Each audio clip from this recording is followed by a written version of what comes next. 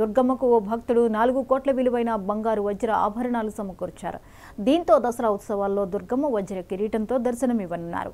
ముంబైకి చెందిన సౌరభ్ గౌర్ మూడు కోట్ల విలువైన వజ్రాలు పొదిగిన బంగారు కిరీటం ఇచ్చారు అలాగే కడపకు చెందిన సీఎం రాజేష్ సూర్య చంద్ర ఆభరణాలు వైస్ వెస్ట్ గోదావరి జిల్లా కండవల్లికి చెందిన సూర్యకుమారి వజ్రాలతో పొదిగిన ముఖ్యరా నత్తు బులుకి కర్ణ ఆభరణాలు అందజేశారు.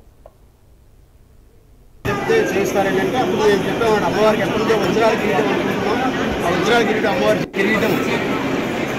ముంబైకి చెందినటువంటి సౌరభ్ గారు ఆయన చాలా పెద్ద వ్యాపారవేత్త. ఆయన అమ్మవారికి మహాభక్తుడు.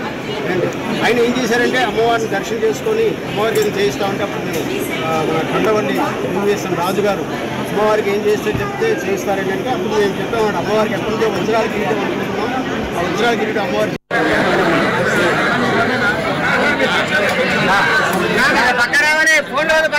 పక్క రావాలి ఫోన్ పక్క